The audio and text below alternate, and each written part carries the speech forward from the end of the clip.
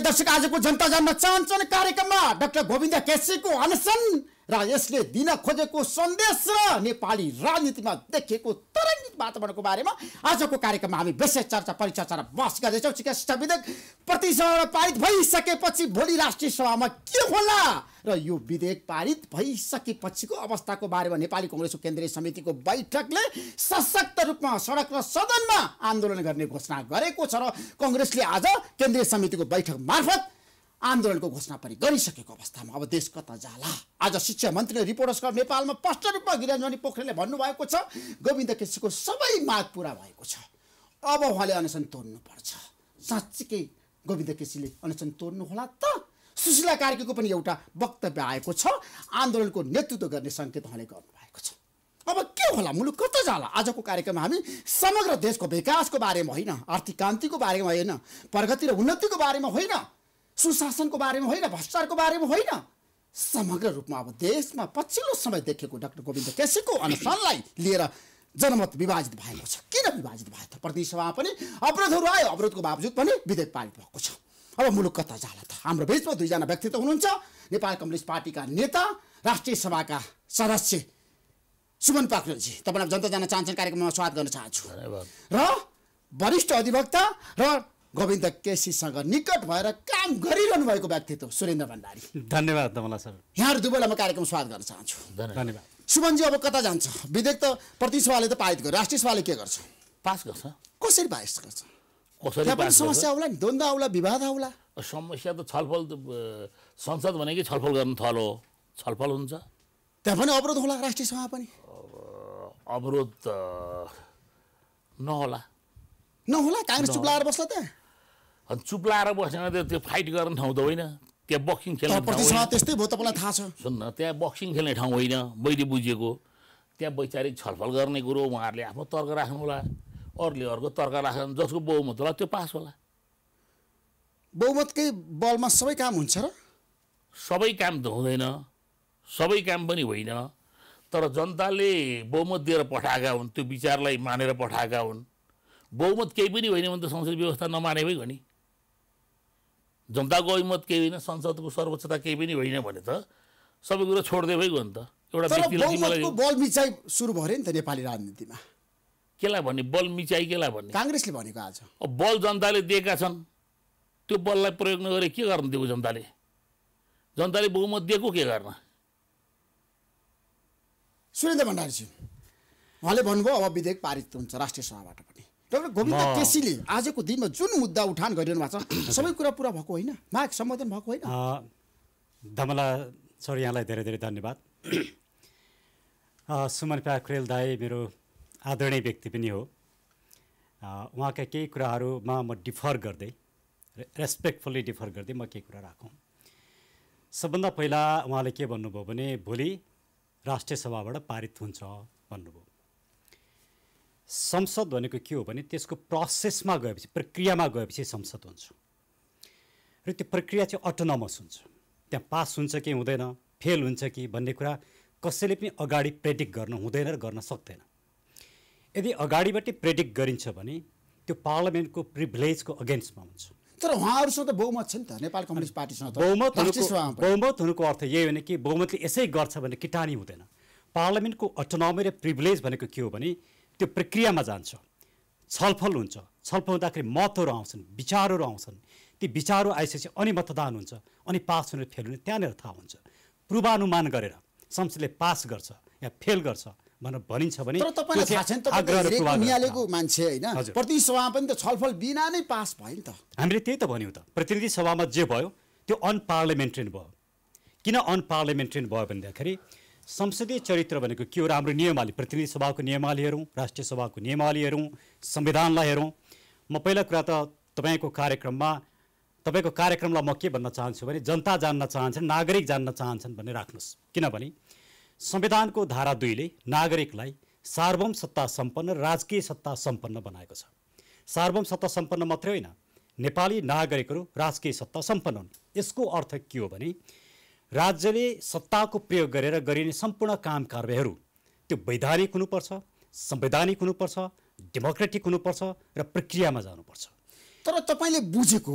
International प्र्याक्टिसमा पनि तपाईँ सहभागी भएको व्यक्ति हो नि त। संसदको सर्वोच्च अदालतलाई कसैले हनन गर्न मिल्छ कुण्ठित गर्न मिल्छ?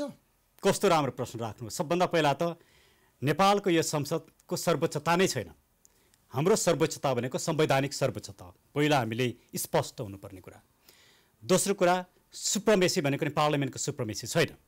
सुप्रमेसी भनेको विशेष अधिकार छैन? देशमा। विशेषाधिकार मात्रै छ प्रिभिलेज छ। त्यो प्रिभिलेज भनेको प्रक्रियामा गएर आफ्नो काम गर्ने त्यसलाई प्रिभिलेज भनिन्छ।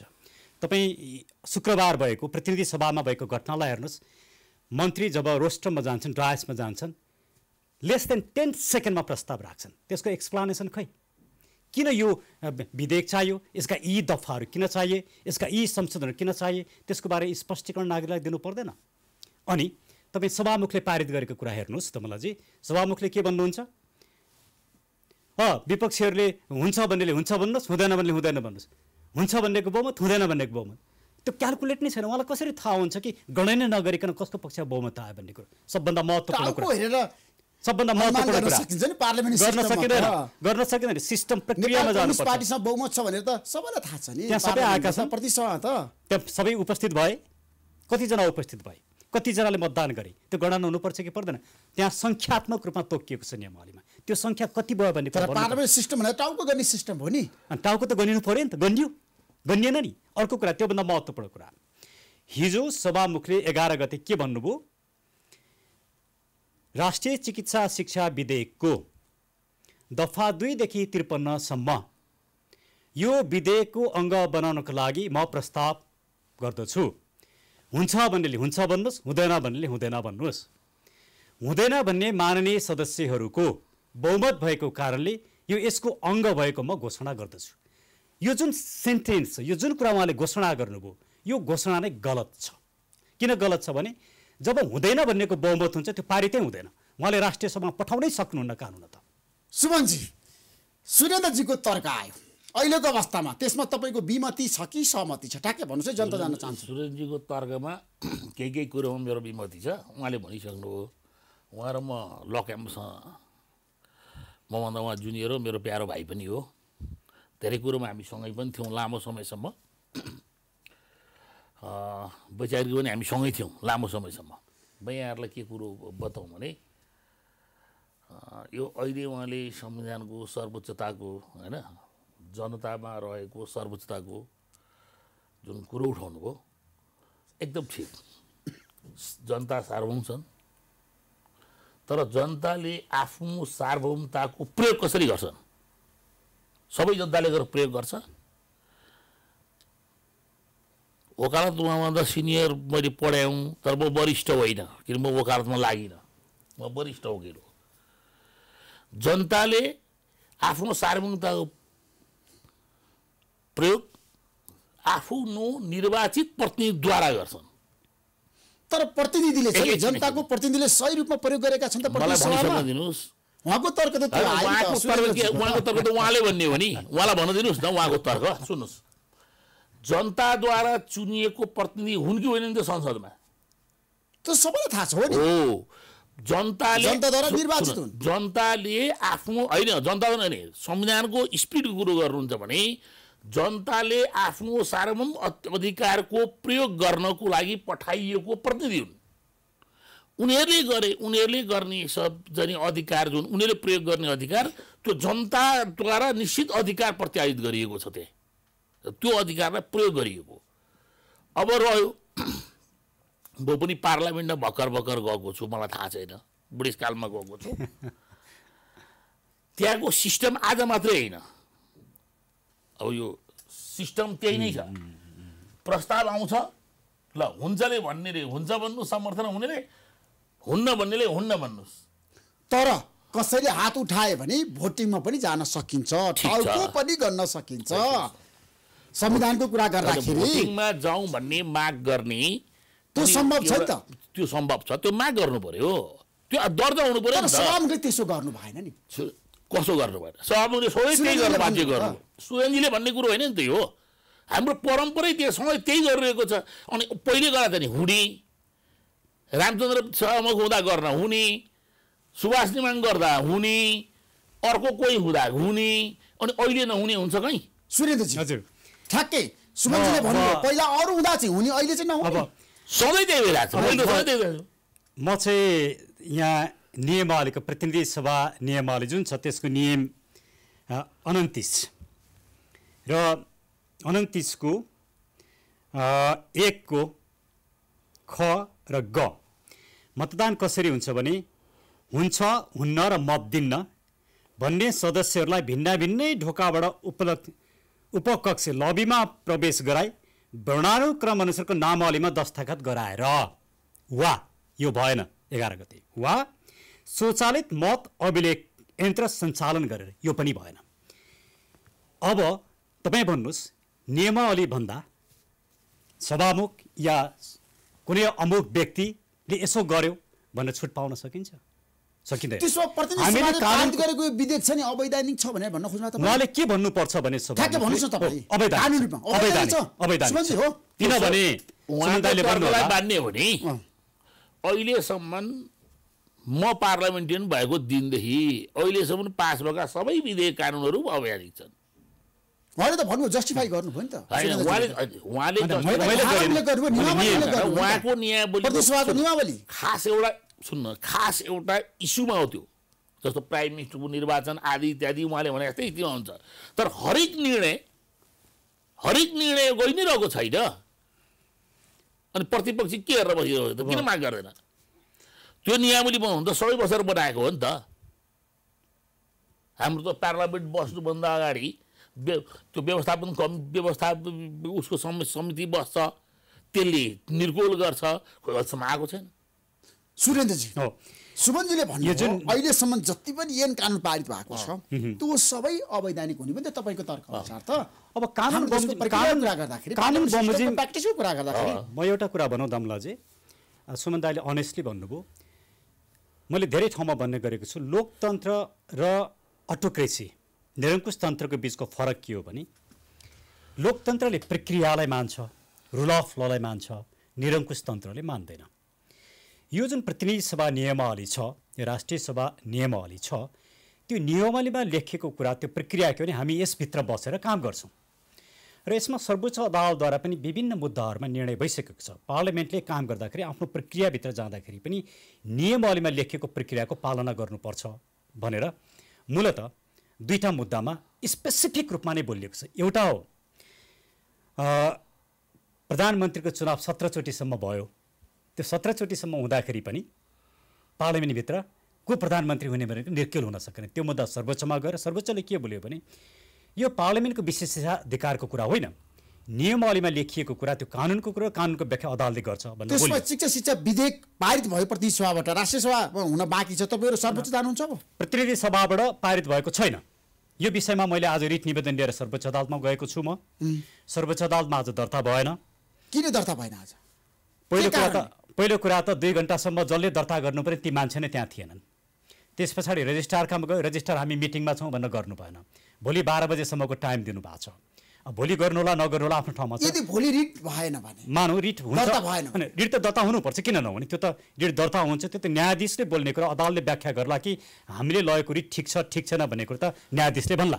तर यहाँ मुख्य प्रश्न के हो भने प्रतिनिधि सभाको जुन नियमावली छ त्यसले तोकेको प्रक्रिया छ त्यो प्रक्रिया पुरा नगरिकन कुनै विधेयक पारित गरिन्छ कुनै प्रस्ताव पारित गरिन्छ भने त्यो इलिगल छ भने त्यो इलिगल नै हो। त्यो सयवटा हुन् कि पाँच सयवटा हुन् कि एउटा? सुमनजी तपाईँहरूको दुई तिहाई मतको सरकार आजको दिनमा किन चुके भन्नुहोस् त? सुरेन्द्र चुकेकै छैनौँ भन्नुभयो नि त। चुकेको छैनौँ। भने त आज जस्टिफाई उहाँले गरिसक्नु उहाँले जस्टिफाई गरे त अदालत पनि जाँदै हुनुहुन्छ होइन? अदालत पनि गइसक्नु भएको छ जाँदै हुनुहुन्छ। त्यसले त्यसले पनि जस्टिफाई गर्ला। कानुनी सर्वोच्चता संवि- संवैधानिक सर्वोच्चतालाई हामी मान्छौँ अदालतको निर्णय आउला भर्डिक आउला भोलि दर्ता होला हेर्दै जाउँ। हेर्दै जाउँ नि त। त्यसले गर्दा कुरो के हुन्छ भने मलाई सर पर्दाखेरि यो मलाई सर नपर्दाखेरि त्यो भन्ने कुरो हुँदैन। मेरो मेरो भनाइ के भने आज साथीहरू जुन प्रक्रियागत कुरोहरू उठाइरहनु भएको छ होइन उठाउन पाइएन म यो भन्दिनँ। तर पार्लियामेन्ट सिस्टमको प्र्याक्टिसको सुन, तपाईँ छैन म- अनुभवी व्यक्ति पनि हो तपाईँ संसदमा नभए पनि सांसद नबने पनि पहिल्यै तपाईँले बुझेको मान्छे त हो नि। सुमनजी सुन मेरो अनुभवले देखेको मैले देखेको होइन? मैले देखेको कतिपय कुरो हामी ट्रेडिसनलमा ट्रेडिसनलमा गइरहेका छौँ। यो संसदीय व्यवस्थाको ट्रेडिसन अनुसार जुन गइरहेको छौँ यहाँ मात्रै होइन। अन्त पनि संसदीय व्यवस्थामा हुने निर्णयको प्रक्रिया यही नै हो। जे हाम्रो भएको छ। हो सुरेन्द्रजी? यस्तो हुन्छ त्यहाँ के हुन्छ भने पञ्च गरिन्छ पञ्चिङ मेसिन हुन्छ र त्यसमा साथ कतिको कति भयो पक्षमा कति भयो विपक्षमा कति भयो भन्ने कुरो तुरन्तै थाहा हुन्छ विदिन अ सेकेन्ड हाम्रोमा त्यो गरिएन। र कसले कति हस्ताक्षर गरे त्यो पनि गरेन प्रक्रियामै गइएन। म अर्को कुरा पनि भनौँ। यसको प्रतिनिधि सभा नियमावलीको नियम एघारलाई हेरौँ। त्यसले के भन्छ भने शुक्रबारका दिन यस्ता सरकारी विधेयकहरू राखेर निर्णय गरिँदैन। गैर सरकारी विषयहरूमा मात्रै प्रश्नोत्तर गरिन्छ र त्यस्ता विषयलाई मात्रै प्राथमिकता दिइन्छ शुक्रबारकै दिन प्रधानमन्त्री आउनुभन्दा अघिल्लो दिन किन यो विधेयकमा यति हताश मानसिकता राखेर पारित गरियो?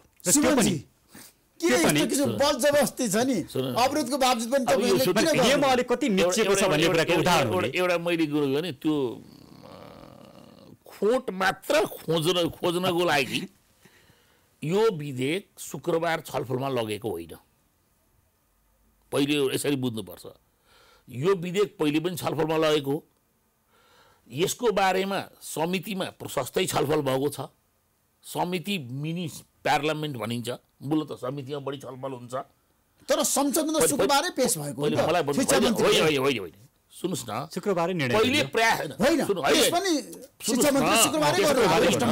होइन, सुन्नुहोस् न, पेस पेस गर्ने प्रयास गर्दा अवरोध भयो। त्यो कन्टिन्यू ग कन्टिन्युटी ग त्यो कन्टिन्युटी हो। तपाईँलाई शुक्रबार होइन सुरुमा दुई तिन दिन अब त्यो दुई तिन दिन अवरोधले गर्दा नरोकेको भए त्यो त्यही बेला पास हुन्थ्यो नि। शुक्रबारको डेटमा पेस गरिएको होइन। फेरि पनि म यहाँहरूलाई भन्छु त्यो एक हप्ता अगाडिदेखि पेस भएको छ। त्यहाँ तपाईँलाई चाहिँ नि शिक्षा मन्त्रीलाई त्यहाँ रोस्टरमा जान घेराउ गरियो जान दिएन र निरन्तर शिक्षा मन्त्री जाने प्रयास गर्नुभएको छ। शुक्रबार उहाँ सफल हुनुभयो। शुक्रबार त्यसले फाइन्ड आउट गर्यो। पनि विधि र प्रक्रिया नियमावली अनुसारै भएको छ। एकदम नियमावली अनुसार भएको छ। सुमन दाईको कुरालाई म के भन्छु भने यो विधेयक त विधेयक सङ्ख्या दसमा असारमै पेस भएको हो नि होइन? त्यसरी हेर्दाखेरि त सात दिन अगाडिको मात्रै कहाँ कुरा छ र यहाँ? विधेयक सङ्ख्या दसमा पनि त्यो समितिमा छलफलमा गएको थियो। समितिले पास गरेको थिएन समितिमा समितिले ल्याएको कहिले अर्को कुरा हेर्नुहोस् है। सुन्नुहोस् न सुन्नुहोस् जी समितिले संसदलाई हामीले छलफल गरेको यो यो निर्कोल सहित समितिले संसदमा पेस गरेको कहिले हो? संसदले त्यसलाई टेबल गरेको कहिले हो? त्यो त्यहाँबाट जोडिन्छ नि।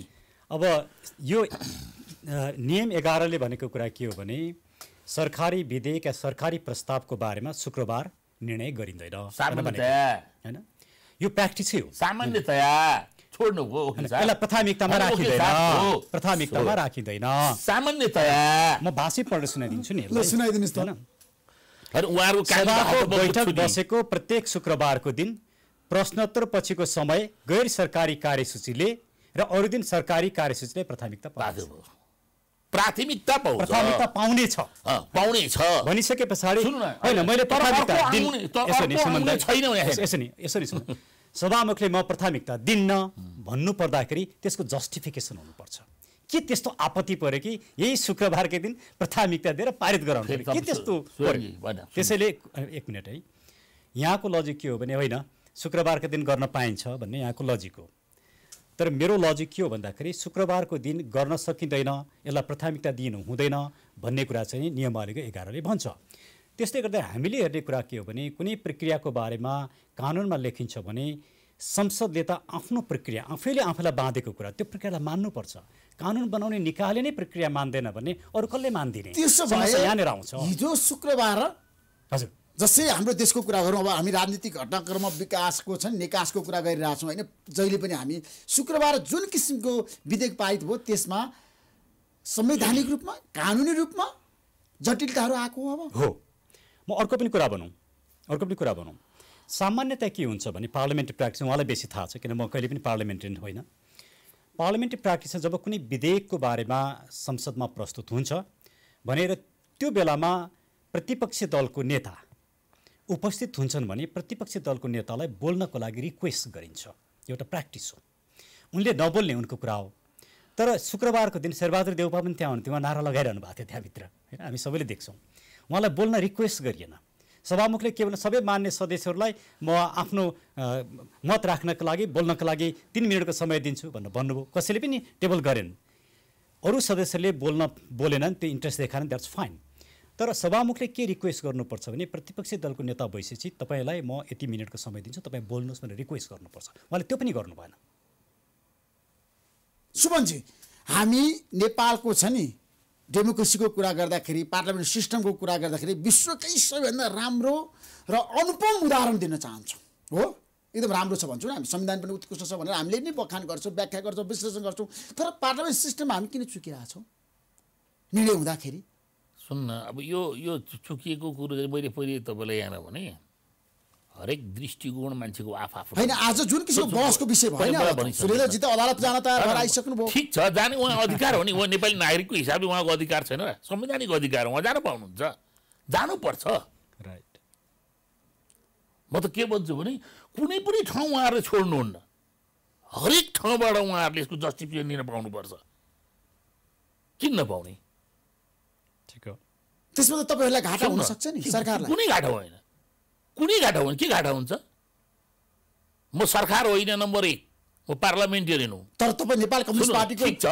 मेरो पार्टी मेरो पार्टीको सरकार छ। तर संसदभित्र म सार्वभौम छु सरकारले भनेको कुरो कतिपय कुरो मेरो डिफर पनि हुनसक्छ। त्यसमा यो विधेयकमा तपाईँको समर्थन छ कि? तपाईँले सुन्नुहोस् विरोध छ। पहिले मे- मलाई भनिसक्नु आज सुन्नुहोस् न म एकदम जनताले राम्रोसँग बुझाएको छ। सुमन प्याउले के हुन्छ भन्ने कुरो बुझाएको छ। बताइदिनुहोस्। सुन्नु बताउनै पर्यो बुझाएको छन् सुन्नुहोस् न म तपाईँलाई यहाँलाई के अनुरोध गरौँ भने हामी जेमा डिस्कसन त्यसमा जाउँ। पहिलो कुरो उहाँले जे कुरो भन्दै हुनुहुन्छ। उहाँले सिस्टमको कुरो जुन उठाउँदै हुनुहुन्छ होइन? म के अनुरोध गर्न चाहन्छु भने यो विधेयकलाई जबरजस्त शुक्रबार पेस भएको भन्ने कुरोमा उहाँ पनि भन्दै हुनुहुन्छ र तपाईँ पनि त्यसलाई जस्टिफाई गर्दै हुनुहुन्छ। उहाँ त एउटा डाक्टर साहबको निकटस्थ प्रवक्ता भएर हिँड्नुभएको मान्छे उहाँले गर्ने उहाँ वैचारिक रूपमा गर्ने उहाँले ठिक हो। तर तपाईँ पत्रकार तपाईँ त न्युट्रल बस्दिनुहोस्। म त न्युट्रल छु। न्युट्रल हुनुहुन्न। किन हुनुहुन्न म न्युट्रल छु। म- justify गर्छु। म म जस्टिफाई गर्छु। सुन्नुहोस् न। मलाई शिक्षा मन्त्रीले मैले उठाएको त मैले पेश। गरेको शुक्रबार हो भनेर तर यहाँलाई एउटा। कुरो के बताउँ भने तपाईँलाई मैले अदालतमा पेसी फल्ना दिन दियो त्यो दिन मुद्दा चाहिँ नि हुन पाएन। अर्को दिन पेसी पर्छ नि त। प्राथमिकता पाउँछ नि त उसले। त्यस्तै के हुन्छ भने हामीले सरकारले या चाहिँ संसदीय समितिले महिनौँ छलफल गरेर त्यहाँ पनि भोटिङ भएको छ। तपाईँलाई थाहा छैन नि त्यो कुरो? अठारमा चौध भएको छ। अठारजनामा चौधजनाले पक्षमै भोट। संसदीय समिति त छलफल भएर भोटिङ भएकै हो। पहिले मलाई भनिसक्नु काङ्ग्रेसले त्यतिखेर सुन्नु तिनजना। तिनजनाको मतभेद हो। एकजना सभापतिले भोट हाल्ने कुरा आएन। चौधजनाले एकातिर हाल्ने चौध पन्ध्र बाँकी तिनजना। तिनजनामा एकजनाको नो डिसिजन हो। नो डिसिजन फेरि एकजनाको मात्रै हो। त्यसले गर्दा त्यो त्यहाँबाट छलफल भएर आयो। त्यसले संसदीय प्रक्रिया संसदमा बुझायो। बुझाएपछि संसदमा छलफलमा ल्याइयो। सुन एकछिन। संसदमा ल्याइयो। जुन दिन संसदमा रो तपाईँलाई टेबल गरियो। टेबल गर्नलाई टाइम तोकियो। नोटिस दिइयो। हो त्यही हो त्यही दिन हो सुरुवात हो शुक्रबार होइन। त्यहाँ प्रतिपक्षी साथीहरूले अवरोध गर्न खोज्नुभयो छलफलको समय माग्नुभयो अनि प्रतिपक्ष दलको नेतादेखि लिएर विभिन्न छलफल गरी विभिन्न पार्टीका नेताहरू छलफल गर्नुभयो सभामुखले विभिन्न प्रयास गर्दाखेरि त्यो प्रयास असफल भएपछि शुक्रबार चाहिँ त्यसलाई फाइनल गरियो। सवाल यो हो। अनि शुक्रबार कहाँबाट स्टार्ट भयो त्यो? कसरी शुक्रबार स्टार्ट भयो त्यो? सुमन दाईको सुमन दाईको आफ्नो लजिक छ। त्यसलाई म ड्युली रेस्पेक्ट गर्छु। तर टेबल गर्ने कुरा र प्रस्तावमा छलफल गर्ने कुरा फरक कुरा हो। टेबल कुन दिन गरियो त्यो इट डजन्ट म्याटर टेबल शुक्रबार पनि गर्न सकिन्छ। तर प्रस्तावमा छलफल गरेर निर्णय गर्ने कुरा जुन छ त्यो नियम एघारले त्यो कुरालाई प्राथमिकता दिँदैन। त्यसैले मैले अघि किनभने यसलाई किन प्राथमिकतामा राख्नुपर्ने त्यस्तो ठुलो महत्त्वको विषय यो शुक्रबारै गरिहाल्नुपर्ने। तर। अनसन बस्नु भएको छ। हजुर। छिटोभन्दा छिटो विधेयक पारित हुँदाखेरि उहाँलाई अनसनबाट छ नि तोडाउन सकिन्छ भन्ने विद्यार्थी विद्यार्थी भर्ना गर्ने बेला आइसक्यो। विद्यार्थीको भर्नाको विषय छ। डाक्टर गोविन्द केसी मेडिकल चाहिँ नि को विषय आम जनताको छोरछोरीले पढ्न पाउनुपर्छ भनेर लडाइँ लडिरहनु भएको मान्छे। अनि त्यो भर्ना गर्ने समयदेखि लिएर सबै पछाडि धक्लिएछ। त्यसको कुनै हतार छैन। उहाँले ठिक कुरा भन्नुभयो। यदि त्यस्तो चिन्ता हामी सबैमा छ भने हामी त कहाँ चिन्तित हुनु पऱ्यो भने जुन मुख्य विषय अहिले डिसकन्टेन्ट छ नि जहाँ कन्ट्रोभर्सी छ। के हो त? मुख्य विषय आज हामी दफा- तेह्रको- केसीले जसरी माग राखेर अनसन बस्नु भएको। थियो त्यो माग सबै पुरा भयो भनेर आज शिक्षा मन्त्रीले पनि भन्नुभएको सबैले भन्नुभएको छ अब उहाँले अनसन तोड्नुपर्छ भन्ने सरकारको भनाइ अब म यहाँनिर यहाँलाई पनि मेरो प्रश्न उहाँलाई पनि मेरो प्रश्न सबैलाई प्रश्न। प्रश्न के हो भने दफा तेह्रको छमा जुन संशोधन गरियो अथवा थप गरियो दफा तेह्रको छ त्यो दफा तेह्रको छमा के भन्यो भने यो ऐनको यो प्रावधान काठमाडौँ बाहिरका मेडिकल कलेजलाई सम्बन्धन दिने र आशयपत्र दिइसकेकाको सन्दर्भमा निर्णय गर्ने बारेमा यो ऐनका दफा लागू हुने छैन भनेर भन्यो। यस किसिमको एउटा एक्सक्लुसिभ एक्सक्लुजनरी प्रोभिजन हतपत कानुनमा राखिँदैन। किन राख्यो? यो राखिएको कुरो साँच्चीकै राष्ट्रिय हितमा छ कि छैन? तर दबाब। दिए नि त। काठमाडौँ बाहिरका सांसदहरूले दबाब दिए अरे उनीहरूले भने अरे हामीलाई चाहिँदैन मेडिकल मै भन्छु। उनीहरूको एक सेकेन्ड एक सेकेन्ड उहाँले भनेको कुरा ठिक हो। जुन डक्टर केसीसँग भएको सम्झौता थियो पन्ध्रौँ सत्याग्रहको दौरानमा। त्यसमा के कुरा स्पष्ट छ भने काठमाडौँ बाहिरका मेडिकल कलेजलाई सम्बन्धन दिने विषयमा चिकित्सा शिक्षा आयोग गठन भएपछि त्यसले तय गरेको मापदण्डका आधारमा दिन सकिनेछ भनेर स्पष्ट रूपमा लेखिएको छ। हाम्रो यही विषयमा दुई रातसम्म छलफल त्यसलाई। सांसदले मानेन अस्वीकार गरे। उनीहरूले भने हामीलाई छिटो यसमा के फरक भयो? फरक यो के- फरक भयो? यसमा फरक के भयो भने यो दफा नै लागू नहुने। यो ऐनको प्रोभिजन नै लागू नहुने भनेर जुन एक्सक्लुजनरी कुरा राख्यो त्यसले के गर्यो भने आशय पत्र दिएका जसको मापदण्ड पुरा हुनुपर्छ पर्दैन किन? मापदण्डको कुरा यहाँ आएन। अथवा यो ऐनको होल प्रोभिजनलाई नेगेट गरेर। जसरी पनि दिन सकिने भयो। यदि त्यसो हो भने तपाईँलाई यस कुरोमा आपत्ति हुँदैन भने त्यो प्रोभिजन हटाए त्यो क्लज हटाइदिउँ न त। किन? त्यो क्लज किन राख्नु पर्यो त? राख्न नहुने किन? राख्न नहुने किनभने यसले सिङ्गो त्यो ऐनलाई नै एक्सक्लुजनमा राखिदियो। होइन। त्यो तपाईँको व्याख्या हो। तपाईँको व्याख्या के हो? ठ्याक्कै भन्नुहोस् त मेरो मेरो सबै माग पुरा भयो भने सुन, सरकारको निष्कर्ष तपाईँको भनाइ के छ? मेरो व्याख्या सुन मलाई व्यक्तिगत रूपमा सोध्नुहुन्छ भने त पाँच वर्ष काठमाडौँमा दस वर्ष खोल्न नपाउने भन्ने कुरोकै म विरुद्धमा छु। मलाई व्यक्तिगत सोध्नुहुन्छ भने म त्यो कुरो पछि छैन। किन? हामी एकातिर ओपन सोसाइटीमा जाने ओपननेसमा जाने होइन? देशका चाहिँ नि हजारौँ मान्छे विदेश पढ्न गइरहेका छन् शिक्षामा हामीले यहाँ रोक्नुपर्ने केही कारण छैन।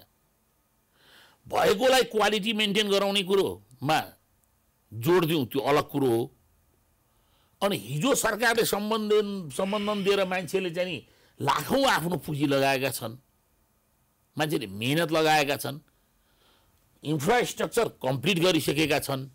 अनि तपाईँले हिजो नि ल त खोल भनेर तपाईँ सम्बन्धन दिने। अनि उसले खोल्ने प्रिपेरेसन गरिसकेपछि अब पाउँदैनस् भन्न पाइन्छ। Number- one. नम्बर टू काठमाडौँमा रोके पनि बाहिर रोक्ने मनसाय डाक्टर साहबको पनि होइन। कसको हो त? सुन्नुहोस्। आयो नि त।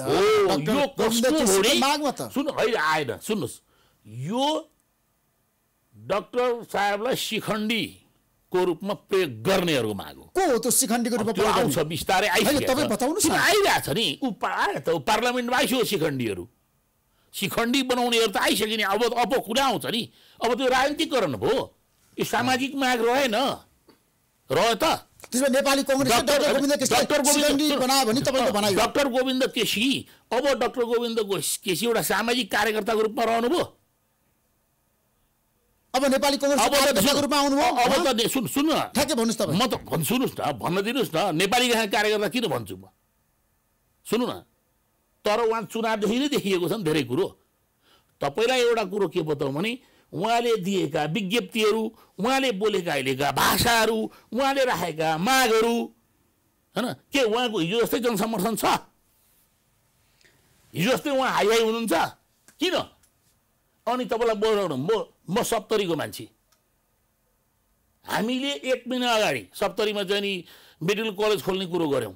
गर्न पाउने नपाउने? त्यहाँका जनताले औषधि गर्न पाउने नपाउने? म यसमा दुई तिनवटा कुरा राख्छु। सुमन दाईले धेरै महत्त्वपूर्ण विषय उठाउनु भएको छ। पहिला त त्यो ऐनको म यो दफा जुन अघि मैले राखेँ यसको अन्तिम वाक्य लाइन सेन्टेन्स जुन छ त्यो आपत्तिजनक हामीले जुन भनिरहेको छौँ आयोगले निर्णय गर्दा यस ऐनको कुनै पनि कुराले बाधा पुग्ने छैन भनेर राखियो। यस किसिमको प्रोभिजन राख्नुपर्ने कुनै जरुरी छैन। पहिलो कुरा समस्या यहाँबाट सृजना भयो। अब सुमन दाईले के भन्नुभयो भन्दाखेरि काठमाडौँ बाहिर किन मेडिकल कलेज खोल्न नपाउने भनेर उहाँले भन्नुभयो। एकदम राम्रो कुरा।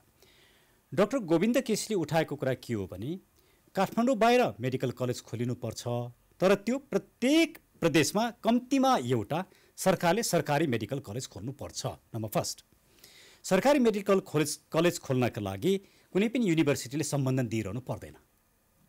त्यसैले सरकारी मेडिकल कलेज खोल्दाका फाइदा के के छन् भने मेडिकल कलेज आवश्यक छैन काठमाडौँ बाहिर प्रदेशमा? म यसमा आउँदैछु धमलाजी यहाँको राम्रो कुरा छ। निजी मेडिकल कलेज सरकारी मेडिकल कलेज खोल्दाखेरि के हुन्छ भने त्यहाँ गरिब र जेनदार विद्यार्थीले कम्पिट गरेर पढ्न पाउँछन् किनकि त्यहाँको ट्युसन फी नि शुल्क हुन्छ। तर प्राइभेट कलेजमा पढ्दाखेरि के हुन्छ भने ट्युसन फी नि शुल्क हुँदैन। त्यसैले गरिब र जेनदार विद्यार्थीहरूलाई त्यहाँ जान गाह्रो हुन्छ एउटा। दोस्रो कुरा प्राइभेट मेडिकल कलेज नखोल्ने भनेको न खोल्दाखेरि सर्टेन स्ट्यान्डर्ड पुरा हुनु पऱ्यो त्यो स्ट्यान्डर्ड पुरा भएको नभएको त्यो एउटा साइन्टिफिक निकायले मात्रै हेर्न सक्छ। त्यो पोलिटिकल निकायले। लिएका र मापदण्ड पुर्याएकाले त खोल्न पाउनु पर्यो नि। आशय पत्रले लिगल बाइन्डिङनेस क्रिएट गर्दैन। आशय पत्रको बारेमा हामी क्लियर हुन जरुरी छ। जसलाई सम्बन्धन दिएको छ त्यस्ता सम्बन्धन दिएकाहरूको बारेमा सम्बन्धन राज्यले दिइसके पछाडि राज्यले तिनीहरूलाई प्रमोट गर्नुपर्छ राज्यको अब्लिगेसन हुन्छ। त्यसमा विवादै छैन कानुनी रूपमा। एक- मिनट। एक मिनट। र अर्को जुन कुरा छ हामीले जुन सम्बन्धन दियो नि विगतमा सरकारले सम्बन्धन जसलाई दिए इभन एउटा हाउजिङको घर लिएर बसेका नाम मात्रकालाई पनि सम्बन्धन दिएको छ। यसको त दुरुपयोग भयो। त्यही दुरुपयोगलाई रोक्नका लागि आयोग बनाएर आयोगले मापदण्डहरू तय तय गर्ने भनेर भनिएको आयोगले मापदण्ड तय गरिसके पछाडि त्यो मापदण्डभित्र जो जो पर्छन् उनीहरूले पाउँछन् त्यसमा विवादै छैन। एउटा कुरा दोस्रो कुरा के हो भने मेडिकल कलेज र हस्पिटल एउटै कुरा होइन। हस्पिटल खोल्न नपाउने भनेर भन्नेकै छैन। हस्पिटल खोल्न पाइन्छ जति पनि जहाँ पनि खोल्न पाइन्छ त्यसमा डक्टर गोविन्द केसीको आपत्ति छैन। डक्टर गोविन्द केसीले भनेको कुरा के हो भने यदि सबै मेडिकल कलेजहरू काठमाडौँमा भित्राउने हो भनेदेखि सबै राम्रा डक्टरहरू काठमाडौँमा आउँछन् काठमाडौँ बाहिरका मान्छेले राम्रो उपचार पाउँदैनन् काठमाडौँ बाहिर सरकारी मेडिकल कलेज खोल त्यसलाई प्रोत्साहन गरेर प्राइभेट मेडिकल कलेज खोल्दा त्यसको स्ट्यान्डर्ड मेन्टेन गर भने हो जुन कुरालाई अहिले लत्याइयो। विश्रामपछि तपाईँहरू दुवैलाई म कार्यक्रममा स्वागत गर्न चाहन्छु। सुमनजी ठ्याक्कै मलाई के बताइदिनुहोस्? अहिलेको अवस्थामा डक्टर गोविन्द केसीले जुन एजेन्डा लिएर आउनसम्म बसिरहनु भएको छ त्यो आजको दिनमा तपाईँको लागि अथवा नेपाल कम्युनिस्ट पार्टीको लागि अथवा वर्तमान सरकारको लागि स्वीकार्य छैन। मेरो लागि मेरो पार्टीको लागि सरकारको लागि मात्रै होइन जनताको लागि स्वीकार्य छैन। किन र के का लागि तपाईँले गर्न सक्नुहुन्छ? किनभने- जनताको लागि स्वीकार्य किनभने भन्ने कुरा। किनभने म जनताद्वारा अनुमोदित हुँ। म जनअनुमोदित हुँ। मेरो पार्टी जनअनुमोदित हो। मेरो पार्टीलाई दुई तिहाई बहुमत दिएका छन् जनताले। म जनताको सार्वजनिकताको प्रतित्व गर्छु। मेरो पार्टीले प्रतित्व गर्छ सांसदहरूले पार्लियामेन्टले प्रतित्व गर्छ। डाक्टर गोविन्द केसीले गर्नुहुन्न। यो कुरो बुझ्नुपर्छ। त्यसो उहाँले अगाडि सार्नु भएको मागमा आजको दिनमा तपाईँहरूले चाहिँ अब सम्बोधन गरेर संशोधन गरेर त्यसलाई कसरी व्यवस्थापन गर्ने अथवा डाक्टर गोविन्द केसीको अनसन कसरी तोडाउने भन्ने सरकारको दायित्व र जिम्मेवारी होइन? एकदम हो। हामी अहिले पनि तयार छौँ। अहिले पनि त्यो ऐनमा त्यो नियममा त्यो कानुनमा त्यो विधेयकमा त्यो कानुनमा कहाँ के कमजोरी छ भोलि पनि सुधार गर्न सकिन्छ। यो अन्तिम होइन। यो अन्तिम होइन। हामीले काम गर्दै जाँदा यदि त्रुटि छ भने हामी त्रुटि सच्याउन तयार छौँ। हामी हिजोदेखि नै राजनीतिक रूपमा पनि त्रुटि सच्याउँदै आएका हौँ। हामी सार्वभौम होइनौँ। सबै हामी सार्वभौम होइनौँ। हामीबाट पनि गल्ती हुन्छ। तर त्यो ल्याङ्ग्वेज त्यो तरिका कुन किसिमको ल्याङ्ग्वेज र तरिका कुरा गर्दै म तपाईँलाई एउटा कुरो बताउँ। गोविन्द केसीको? डाक्टर गोविन्द केसीको राय मागमा राजनीति माग प्राथमिकतामा छ। कुन कुन माग छ? जस्तो अहिलेको शान्ति प्रक्रियाको बारेमा उहाँले कुरो उठाउनु भएको छ। एउटा चाहिँ बलात्कार केसको बारेमा उहाँले कुरो उठाउनु भएको छ। सरकारको बारेमा उठाउनु भएको छ प्राइम मिनिस्टरको बारेमा उठाउनु भएको छ हुँदा हुँदा प्राइमेरी निजी सभालाई उठाउनु छ एउटा डक्टरले नभन्ने कुरो उठाउनु भएको छ। एउटा डक्टरको मोरलले बोल्ने कुरो बोल्नु भएको छ उहाँले विज्ञप्ति निकाल्नु भएको छ। डक्टरको कर्तव्य त्यो हो। डक्टरको काम त्यो हो। एउटा डक्टरले भन्छ कुनै मेडिकल साइन्सले प्रुफ गरेको कुरो बोल्नु भएको छ उहाँले। मेडिकल साइन्समा त्यो औषधि खाएर मान्छे मात्रै दिमाग खुसिया होइन औषधि नखाने पनि दिमाग खुसिया हुन्छन्। र डक्टर गोविन्द जस्तो डाक्टरी पढेका मान्छे पनि पागल भएका छन्। हामी त्यो पनि भन्न सक्छौँ। उहाँ उहाँ पनि पागल हुनु भन्न सक्दैनौँ हामी। त्यसले गर्दाखेरि मान्छे परिधिभित्र बस्नुपर्छ। मान्छे आफ्नो अनुशासनभित्र बस्नुपर्छ। धेरै धेरै संवेदनशील कुराहरू उठे। सुरेन्द्रजी सुमनजीले जुन कुरा उठान गर्नु भएको छ त्यसमा डाक्टर गम्भीरता देखिएन पहिला उहाँलाई- जथेभावी माग राख्नुभयो भन्ने उहाँको कुरा आयो। त्यसमा आउँछु द्वन्द्वकालीन घटनाको बारे उहाँले म त्यसमा आउँछु। छ नि। सबभन्दा पहिला पहिला? उहाँलाई थ्याङ्क्स केमा भने हामी ओपन छौँ र हामी आवश्यक परिमार्जन गर्न तयार छौँ भनेर जुन कुरा भन्नुभयो त्यसको लागि थ्याङ्क्स किनकि जो स्टेटलाई रिप्रेजेन्ट गर्छ सांसदहरू स्टेटको जुन मेजर अर्ग्यानहरू छन् उहाँहरूमा टलरेन्स हुनुपर्छ। उहाँहरू रिस्पोन्सिबल हुनुपर्छ। उहाँहरू जस्तो मान्छेले कुनै नागरिकसँग पौठेजोरी खेल्ने होइन। त्यसैले उहाँले जे भन्नुभयो हामी ओपन छौँ भन्ने कुरो त्यसलाई म वेलकम गर्छु। म आउँछु म एक एक गरेर आउँछु। सुरेन्द्रजी तपाईँ त प्रवक्ताको रूपमा देखिनु भएको म छ। म प्रवक्ता त होइन तर म म बोल्छु म त्यो विषयमा बोल्छु एकदम स्पष्ट रूपमा बोल्छु। त्यसले चारवटा कुरामा ओपन होइदिनुहोस्। एउटा यो ऐनको प्रावधान लागू हुने छैन भन्ने जुन क्लज राख्यो त्यसलाई एउटा हटाइदिनुहोस्। एक हामी समस्याको समाधानतिर जाउँ मुठभेडतिर नजाउँ। एक दोस्रो कुरा चिकित्सा शिक्षा आयोग बनिसके पछाडि युनिभर्सिटी चाहिँदैन। त्यो युनिभर्सिटीको कुरा हटाइदिनुहोस् दोस्रो। किनकि हामी सबैले मुलुकको हितलाई नै हेरेर काम गरिरहेछौँ। तेस्रो कुरा गाउँ गाउँमा प्रमाणपत्र तह र त्योभन्दा तल पढेका चिकित्सकहरूले सेवा दिइरहेको छ। यसले गर्दा गाउँका मानिसहरूको स्वास्थ्यमा ठुलो प्रतिकूल असर परेको छ। त्यहाँ एमबिबिएस डक्टर पुर्याउने भन्ने जुन कुरा छ त्यो प्रावधानलाई परिमार्जन गरौँ। तेस्रो र चौथो कुरा यसको प्रस्तावनामा जुन माथिमा प्रतिवेदन छ त्यसलाई रिफ्लेक्ट गर्ने काम गर्यो। यो कुनै ठुलो कुरा होइन। यसले सरकारलाई कुनै हानि पनि गर्दैन। यसले बरु राष्ट्रलाई हित नै गर्छ। यति कुरा भयो भने तपाईँले इनिसिएसन लिइदिनुहोस्। We really appreciate it Sumanji त्यसो गरेर तपाईँले सक्नुहुन्छ यी चार कुरा पुरा गर्न सक्नुहुन्छ ठ्याक्कै पहिला यसमा कुरा गरौँ न सुन्नु न एउटा कुरो के भने नि सुरेन्द्रजी र म विद्यार्थी कालमा लामोसँग विद्यार्थी आन्दोलन लगाए मान्छे हौँ हामी धेरै माग राख्थ्यौँ सबै माग पुरा हुँदैन थिए मागमा सबभन्दा ठुलो कुरो के भने तपाईँले उठाएका प्रमुख मागहरू पुरा भएका छन्। म अरूले जस्तो के भन्दिनँ भने हन्ड्रेड पर्सेन्ट पुरा भयो। यो म भन्दिनँ हन्ड्रेड पर्सेन्ट त हुँदै हुँदैन दुनियाँमा। हुँदै हुँदैन। मेरा मान्यताहरू तर कतिपयले विश्लेषण गर्दाखेरि पन्चानब्बे माग पुरा भएका छन् गोविन्द जान्दिनँ। केसीको भनेर भनेका छन्। कसले के भन्नु? मेरो कुरो म भन्छु। म अरू कुरो जान्दिनँ म मेरो कुरो राइट तपाईँलाई एउटा कुरो के बताउँ भने मेरा दैनिकी आवश्यकताहरू कहिले पुरा भएको छैनन् कि त्यो बढ्दै जान्छ क्या। म ल क्याम्पमा पढ्दाखेरि एउटा मोटरसाइकल किन्छु भन्थेँ। आज गाडी किन्दा पनि मलाई पुगेको छैन। मान्छेको त डेभलप मान्छेले डेभलप गर्ने व्याख्या नगरिकन सिधा उत्तर म दिन्छु। सुन्नु त कुरो के हो भने पहिलो कुरो हामीले गोविन्द केसीको एउटा कुरो के मान्नुपर्छ भने मेडिकल साइन्समा मेडिकल सवालमा मेडिकलको सवालमा उहाँले नेपालमा धेरै गम्भीर कुरोहरू उठाउनु भएको छ।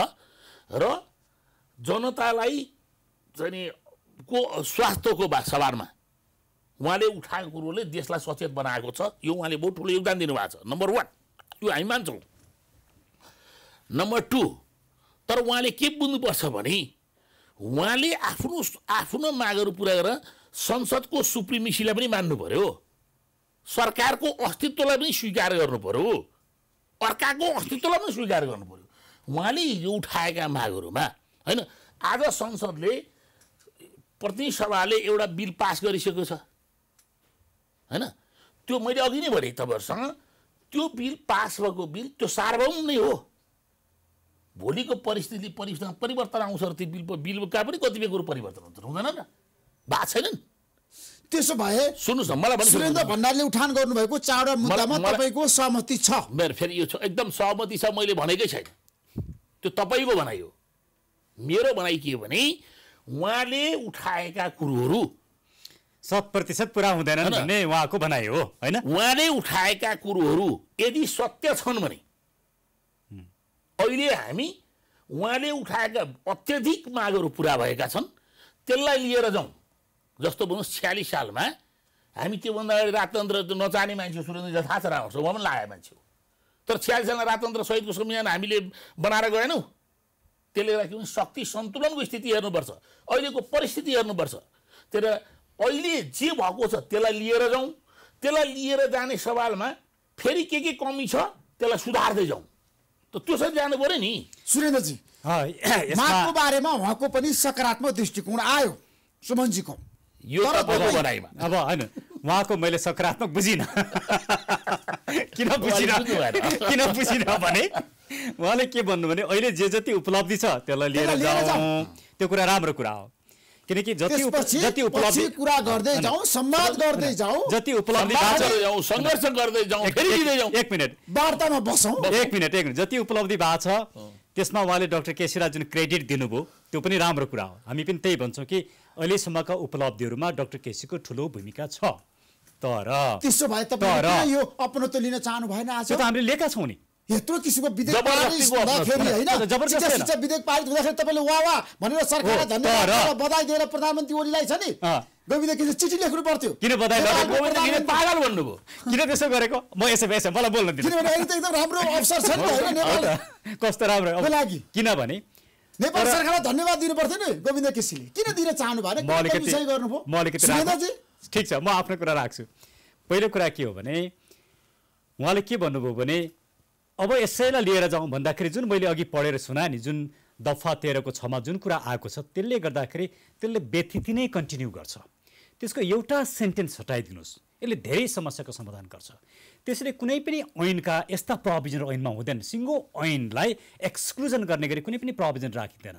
त्यो त विधायकी एउटा प्रक्रियामा पनि त्यो नहुनुपर्ने कुरा हो। तर तपाईँलाई थाहा छ नि अन्तर्राष्ट्रिय प्र्याक्टिसलाई हेर्दाखेरि आन्दोलन हुन्छ सहमति आउँदैछु, आउँदैछु। तर लेनदेन हुन्छ।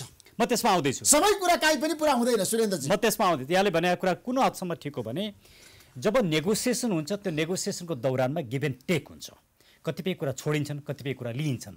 तर जब नेगोसिएसन हुन्छ र फाइनल सम्झौता गरिन्छ राज्यले गर्छ त्यो सम्झौता चाहिँ हुबहु लागु हुनुपर्छ। तर यदि देशमा अहिलेसम्म लागू भएको छैन बाह्र बुधे सम्झौतादेखि अहिलेसम्म धेरै सहमति भएको छन् समझदारी भएको छन् कुन चाहिँ लागू यो एकचोटिको? कुरा होइन डक्टर केसीसँगको कुरा एकचोटिको कुरा होइन पन्ध्रौँचोटिसम्म सम्झौता भएको छ। यदि राज्यले गर्न सक्दैन भने राज्यले गर्न सक्दैन थियो हामी यो कुरा गर्न सक्दैनौँ हामी यसमा सम्झौता गर्दैनौँ भनेर भन्नु पर्थ्यो राज्यले हामी यो कुरा गर्न सक्छौँ। अझ म खड्गप्रसाद ओली जो प्रधानमन्त्री हुनुहुन्छ उहाँसँगको नेगोसिएसनमा उहाँले डक्टर केसीसँग व्यक्तिगत रूपमा कुरा गर्दाखेरि पनि जहाँ म पनि छु उहाँले के भन्नुभयो? तपाईँहरूको यी माग त म पुरा गर्छु गर्छु। योभन्दा बेसी केही छैन त्यो पनि भन्नुहोस् न भन्नुभयो। त्यो पनि गरिदिन्छु भन्नुभयो। र जुन बेला पन्ध्रौँ अनसन चाहिँ नि सत्याग्रह तोडिएको छ त्यो बेला संसदीय दलका उपनेता सुभाष चन्द्र नेमाङले डक्टर केसीको लाई जुस खुवाएर सत्याग्रह तोड्नु भएको छ। उहाँले के भन्नुभएको छ? त्यो सबै तपाईँहरूसँग रेकर्ड छ। होइन म त त्यो थिएँ सात दिनदेखि सात। दिनदेखि पन्ध्र दिनभित्र हामी संसदीय प्रक्रिया पुरा गरेर यो सबै कुरा चाहिँ पुरा गर्छौँ। यो सम्झौता पुरा गर्छौँ। यसलाई विधायकी प्रक्रिया लान्छौँ भन्नुभयो। त्यहाँ उहाँहरूको पार्टीको महासचिव पनि हुनुहुन्छ। अब यस्ता कुरालाई यदि नपत्याउने हो भने तर गयो नि त प्रक्रिया गयो। विधेयक त तपाईँलाई पारित भयो नि त संसदबाट। विधेयकले त त्यसको मुटु झिकिदियो नि। हो सुमनजी। त्यसको बढी यसमा फरक छ। यसमा दृष्टिकोण मैले भने तपाईँलाई यो उहाँले चाहिँ लगाएका एक दुईवटा कुरामा मैले बोल्नु छ है। अँ, मै- मेरो चाहिँ नि भनाइ के हो भने यसमा आफ्नो दृष्टिकोण हो। हामीले बुझेको गोविन्द कृषिको आम रूपमा डक्टर साहबको आम चाहना जुन हो त्यो चाहनालाई हामीले सम्बोधन गरेका छौँ। टेक्निकल आस्पेक्टमा कहीँ हाम्रो जोड र कोणमा फरक भए हुनसक्छ त्यो हाम्रो दृष्टिकोणको फरक हुनसक्छ त्यो दृष्टिकोणको फरकलाई होइन एकदम दूरत्व गरेर भूगर्ताल गरेर नै सल्भ सल्भ गर्न पर्ने स्थिति थिएन। यसमा खेलियो। तर आज उन्नाइस दिन भइसक्यो अनसन बसेको। समस्याको समाधान सुन्नु सुन्नु। खेलियो। खेल्दाखेरि के गरियो भने खेल्दाखेरि के भने मान्छेलाई चिडाउने गरी खेलियो।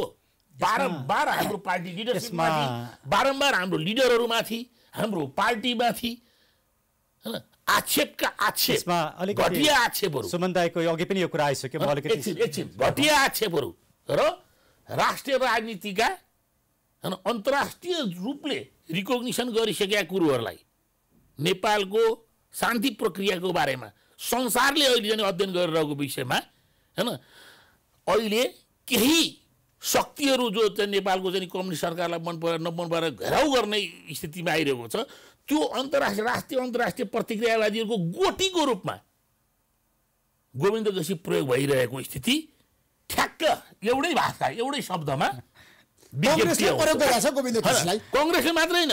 उहाँले राष्ट्रिय कतिपय- अन्तर्राष्ट्रिय शक्तिहरूले दिएको विज्ञप्ति र गोविन्द केसीले दिएको माग एउटै छ। के हो यो? अब के हो सुरेन्द्र भण्डारी अब पहिलो यस्तो भयो हाम्रो देशमा भन्नुहोस् त। म- मलाई अलिकति क्लियर गर्न दिनुहोस् है। यसले के देखाउँछ भने उहाँको र हाम्रो वैचारिक भिन्नता देखाउँछ र उहाँको वैचारिक साम्यता अन्त छ भन्ने कुरो देखाउँछ अब कङ्ग्रेसकै नेताको रूपमा गोविन्द केसी आइसक्नुभयो भने गलत- तर्क पनि आएको छ भाइ कसरी किन गलत भने गगन थापाले समर्थन गर्नुभएको छ खुलम गगन थापाले मात्रै किन गगन थापाको त उहाँले चुनावमा प्रचार गर्नुभएको मेरो मेरो कुरा पनि सुन्ने हो मेरो कुरा पनि सुन्ने अनि उहाँ चाहिँ नेपाली काङ्ग्रेसले उहाँको मागलाई सत्तर प्रतिशत भनेको छ। जुन नेपाली काङ्ग्रेस सत्रचोटि उहाँलाई हडतालमा बसायो सत्रचोटि नेपाली काङ्ग्रेसले उहाँलाई धोका दियो त्यसको प्रवक्ता उहाँ हुनुभएको छ। पहिला- तपाईँ सुशीला कार्कीको कुरो गर्नुहुन्छ उहाँलाई मानहानी लगाउँदा हामी उहाँलाई ठेक्ने त्यसपछि उहाँको भूमिका देखिएको छ। यो त क्लिष्टा अब कति पनि मोरालिटी दम नभएका कुरोहरू। धेरै यति धेरै कुराहरू कि यो धेरै टाइम लाग्छ। तर म छोटको यहाँ भन्छु। सुशीला कार्कीको बारेमा हामी हौँ भनेर जुन जसरी उहाँले भन्नुभयो तपाईँ हामी होइन कि एउटा पार्लिमेन्टेनको रूपमा तपाईँले मेरिटको आधारमा गर्ने काम गर्नुभयो तपाईँ हामी भनेर। नभन्नुहोस्। हामी मेरिटको आधारमा तपाईँले जुन काम गर्नुभयो राम्रो काम गर्नुभयो त्यो काम राम्रो काम गर्नुभयो। तर हामीले बचाइदिउँ अब उहाँले हाम्रो समर्थन आशय हुँदैन।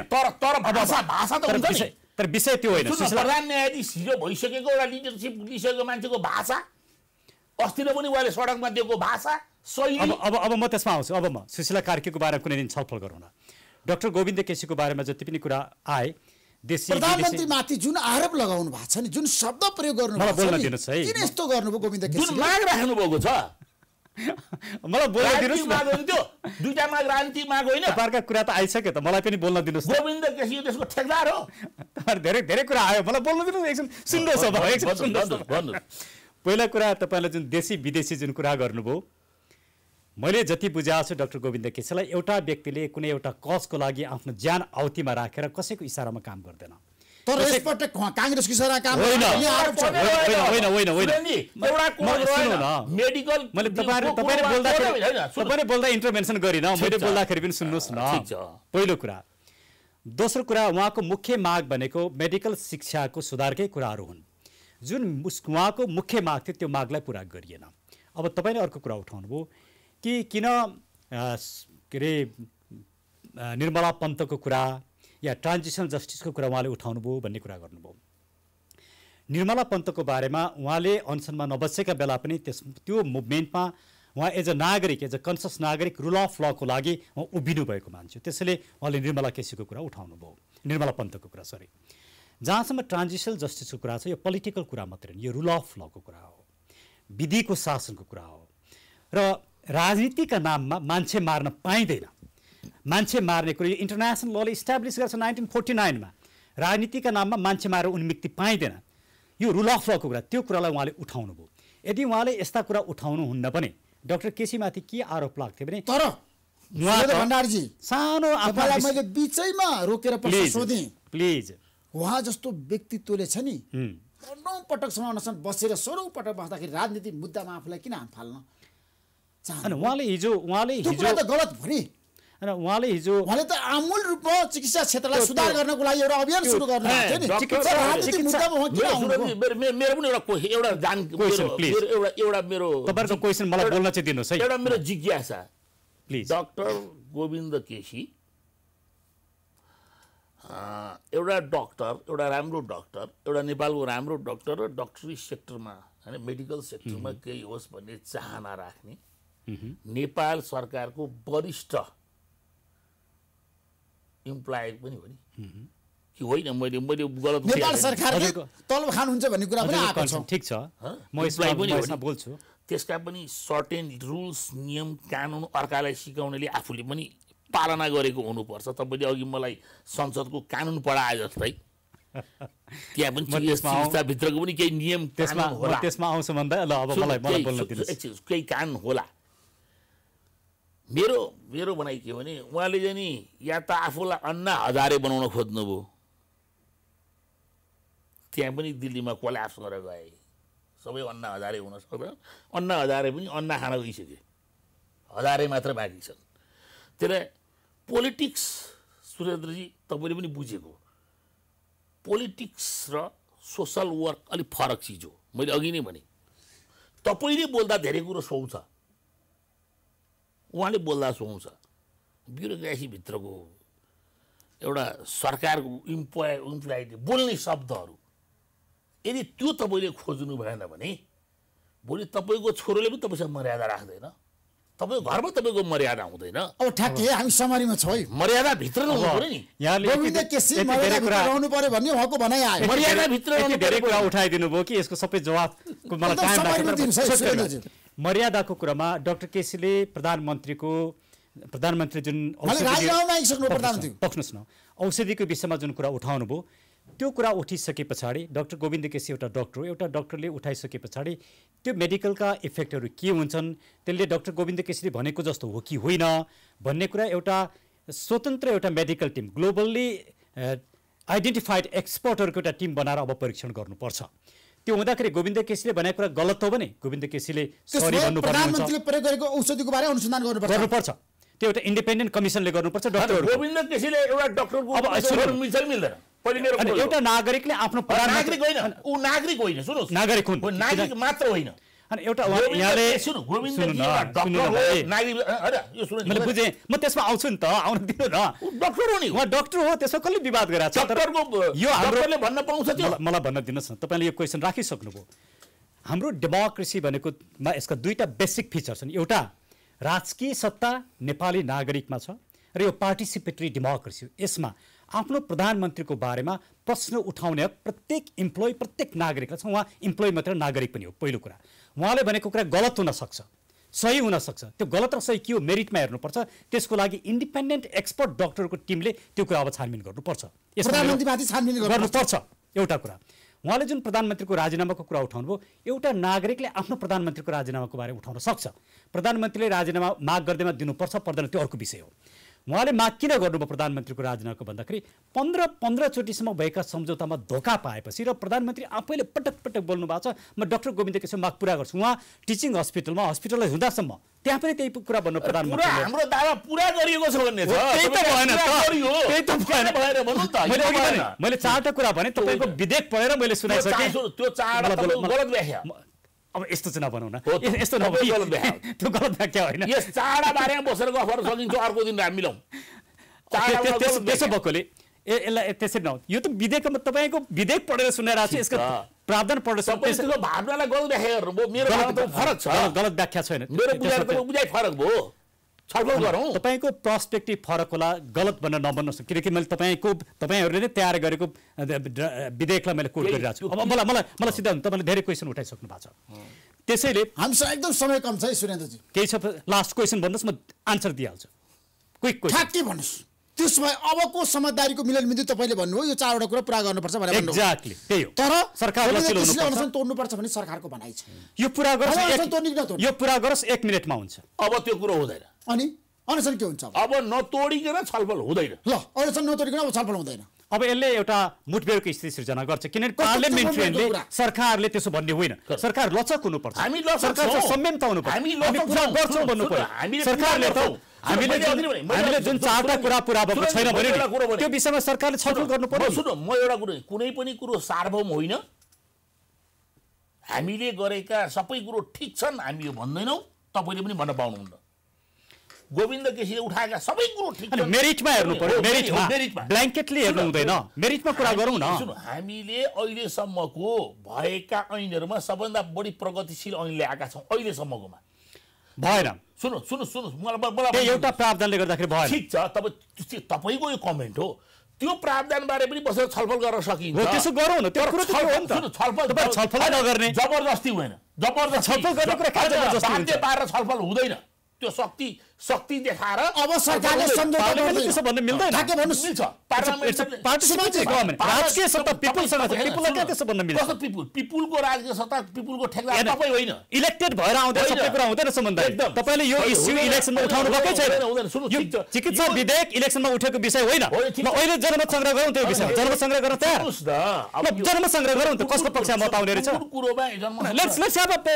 त्यो पनि तयार त्यो पनि हुन्छौँ हामी ल। गरौँ ल। आवश्यक आवश्यक पिपुलले यसलाई डिनाइ सुन, गरे। डाक्टर गोविन्द केसी किसीलाई डिनाइ गरे भने हामी तपाईँको कुरा मान्न अब तयार तपाईँले देख्नु लेट्स भएको हेभ छ। हिजोको गोविन्द केसी हाई हाई अब बिस्तारै बाई बाई हुँदैछन्। ठिक छ नि त रेफरेन्डममा जाउँ न त। ठिक छ बाई बाई नै होला नि ल। ठिक छ। रेफरेन्डममा जाउँ। मेरो भनाइ गोविन्द केसीको उहाँको यो देशलाई आवश्यकता छ। कृपया उहाँलाई तपाईँहरू बाध्य पारेर बर्बाद नगर्नुहोस्। अब यो यो यो- स्टेटमेन्ट दिँदैन रहेछ हामीले। बाध्य पार्ने हामी कोही होइन तर आरोप। होइन, सुन्नुहोस् छ डाक्टर गोविन्द केसीका तपाईँहरू- पिटनका व्यक्तिहरूले खेलाडी बसिरहेका छन् भन्ने कुरा छ। सुन्नुहोस् न हामी पनि खेलेरै आएका हौँ। कुन कुन हामी खेलाडी खेल्दैनौँ है। हामी हामी खेलाएको छैनौँ। तपाईँहरू खेल्नुभयो होला। हामी खेल्दैनौँ। सुन्नु न तपाईँले पनि मलाई चिन्नु भएको छ। हामी खेलेर आएका हौँ। राजनीति खेलेरै आएका हौँ। विभिन्न शक्तिसँग लडेरै आएका हौँ। बुझेरै आएका हौँ। हामीले बुझेका छौँ। कुन कुन शक्तिले गोविन्द केसीलाई एकदम चाहिँ त्यो के उ मानेर शिखण्डी बनाएर खेलिरहेका छन् त्यो हामी बुझ्दछौँ राम्रोसँग म त्यो शब्दसँग सहमत? छैन। र यस्तो स्थिति नहोस् भोलि सबैले रुनुपर्ने स्थिति नआओस् यहाँ यो स्थिति नआओस् गम्भीर हुनुहोस्। होइन गम्भीर त सरकार हुनु गम्भीर त तपाईँ पार्लिमेन्टेरियनहरू हुनु पर्यो तपाईँहरूले विवेक पार्लिमेन्टेरियनहरूलाई एउटा सहमति र सरकारको कुरा गर्दाखेरि लिनु सुन्नु सम्पूर्ण व्यवस्थालाई सम्पूर्ण सिस्टमलाई झुकाएर म कसैले म तपाईँले कुरो गलत छ। तपाईँ सम्झौता गर्ने अनि हामीलाई झुकाउने भन्ने शब्द नै गलत छ। त्यस्तो होइन त्यस्तो तपाईँका सम्झौता हामीले मानेका छौँ हामीले पुरा गरेका छौँ। त्यो सम्झौतालाई राखौँ। सुन्नु कहाँ पुरा भएको छैन हडताल तोड्नुहोस् बसेर छलफल गरौँ। सम्झौता पुरा गर्नुहोस्। हुँदैन। हुँदैन। हुँदैन। भने सुन्नुहोस् अब यो उहाँले? सुन्नुहोस्, उहाँले त्यसमै हाम्रो बुझाइ के हो भने हामीले गोविन्द केसीजीले उठाउनु भएका कुरोहरूलाई सम्बोधन गरेका छौँ हामी त्यो सम्बोधन लिएर अगाडि जान्छौँ उहाँहरूले सम्बोधन गर्नु भएको छैन उहाँले मेजर कुरोमा नै बिट्रे गर्नुभयो त्यसले गर्दाखेरि डाक्टर केसीले अनसन तोड्नु भएन उहाँले कन्टिन्यू गर्छु भन्नुभएको छ